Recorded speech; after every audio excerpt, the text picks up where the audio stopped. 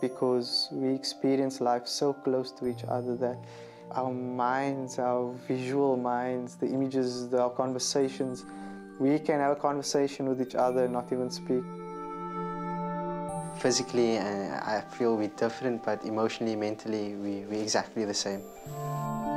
We share an identity, and I mean, that's what God has given us, is He, he split us in two. And, I mean, I won't question that at all. I'm actually quite, quite chuffed about it. My fondest memories were of my brother because uh, how lucky was I to have an, another brother to, to play with who liked the same things and we always wanted things to be shared amongst us and if it wasn't, it would break out in a fight, but always end in apologies.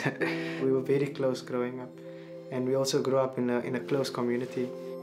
We used to be very proud of our drawings and we used to go and run to the neighbors. And I mean, we were about nine, 10 years old and we were sketching Garfield and Marvel characters and superheroes and also to, to charm the girls. You know, used to make some pretty drawings there and like slide it to them.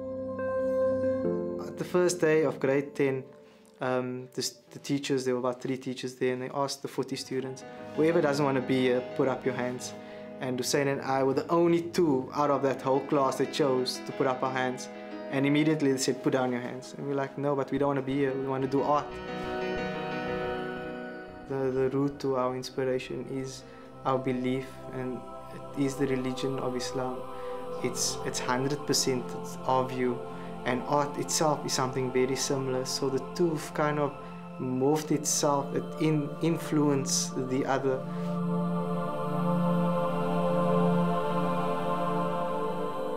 Being artists, uh, we do have a responsibility to make a statement, to, to, to have an opinion, be it the, Palestinian, Israeli issue, be it the, the inner struggle of Western society and, and, and uh, your way of life.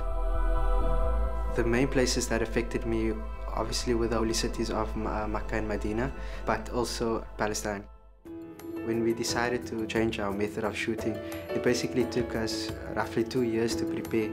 And uh, I told us, look, if we're going to do this, this is what we're setting out to do. We're going to um, go to these holy sites. We only have a 20 minute window and we need to set ourselves um, and practice and practice to get ourselves to shoot within that 20 minute frame.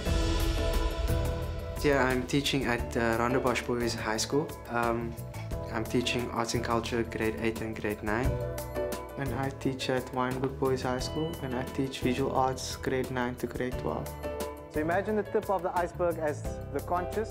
For me, it keeps me on my toes. It keeps makes me a better person, a better artist. There's some kind of feeling of, of joy having um, learners around you and, and hanging to, to every word that you say and actually walking away at the end of it saying, wow, thank you so much, you've taught me something. It's that feeling of, of, of seeing um, other Standard Bank young artists, winners, and, and and looking at the covers and, and thinking one day, can I reach such a level in my career?